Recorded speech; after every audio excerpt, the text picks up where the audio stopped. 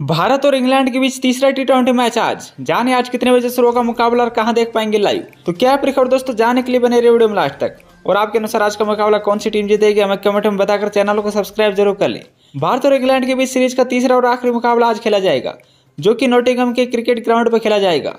बता दें कि भारत और इंग्लैंड के बीच अभी तक दो टी ट्वेंटी मैच खेले गए हैं, जिसमें से दोनों मुकाबले भारत ने जीतकर सीरीज़ अपने पहले ही नाम कर चुकी है। और अब आखिरी मुकाबला जीतकर इंग्लैंड का क्लीन स्वीप करने उतरेगी। बता दें कि दूसरे और आखिरी मुकाबले में भारत ने 170 रन बनाए थे और इंग्लैंड की टीम 121 रनों पर ऑल आउट हो गई। और भारत ने इस मुकाबले को उनचास रनों से जीत लिया था। अब इन दोनों टीमों के बीच तीसरा और आखिरी मुकाबला खेला जाएगा, जो कि आज नोटिंगम के क्रिकेट ग्राउंड पर खेला जाएगा।